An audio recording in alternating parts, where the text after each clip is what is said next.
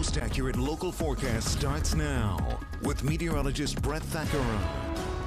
Hi, everybody. Uh, it is, uh, well, almost the weekend, and uh, it's going to be a little wet this weekend. So uh, today, going to be the calm before the storm. It looks nice, but it is going to be chilly. We had a front come through last night as we check out Cedar Cliff High School here. 34 degrees. It is chilly. It feels like wintertime. It's very dry, too. Dew points are in the teens, and so uh, you might need the chapstick here today. It's dry. It feels like winter. It's going to be sunny. Yesterday, we were right on the average of uh, 57, and uh, I think today we are going to be about 10 degrees cooler than that. It may be a struggle to get out of the 40s. We continue to see a trend toward a three inch rainfall deficit as well, but we will try to make up for that at least a little bit. Not much, but a little bit Friday and Saturday. So the front coming through last night with some gusty winds, maybe a few showers, and now we have clearing skies. But it is still windy and it's chilly this morning too, down to 32 in York, Chambersburg at 32, Harrisburg and Lancaster more so in the mid 30s. The front has yet to hit Philly, likely dropping to into the mid 30s later on, Baltimore and D.C. in the 40s. Uh, but I think we could drop another degree or two here, and most of us will be underneath that freezing mark uh, in the next couple of hours.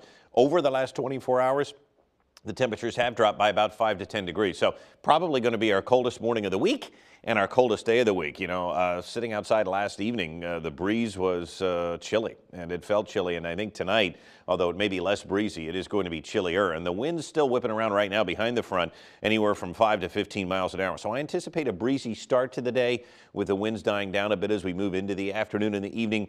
Uh, but don't get used to that. The winds are coming back with a vengeance here as we move into the weekend. So clearly we can see the progression of this front moving through New England with some snow squalls, some rain showers for us, and now moving out. I saw the PennDOT signs were out saying about snow squalls. Uh-uh, it's done.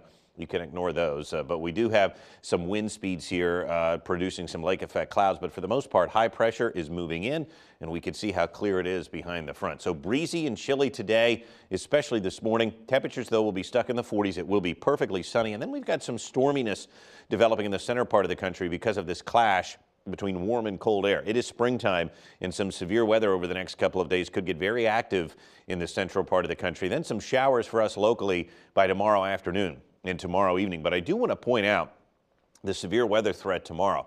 And uh, we are starting to see some higher risk areas in Iowa and Illinois and another one in Arkansas, parts of the Tennessee Valley and Missouri. This area here, and what a an elongated area it is, is where we would expect damaging winds, hail, and especially in these red circles, uh, tornadoes and tornado outbreaks. We will be keeping a close watch on that for the Midwest tomorrow. Luckily, at this point, we don't think it translates to any severe weather here but there will be rain. So perfectly sunny today. It will be breezy at times. And then as we look off to the west, some clouds try to roll in tonight, but I think we still get some sunshine to start tomorrow. And then a few light showers in the afternoon, uh, giving way to a steadier rain tomorrow overnight. And then Saturday, we're going to get two rounds of rain, one in the morning, then we're going to get a break okay? And then we get another round in the evening before this thing exits. And I don't expect a lot of rain with this now. I would say right around a half inch over the two days between tomorrow afternoon, tomorrow night, and then whatever is left on Saturday. So right around a half inch of rain on average. Now, the other big story is going to be the wind here. that will die down as we move into this afternoon. But watch what happens tomorrow. We start to see the winds pick up in the afternoon from the south and west.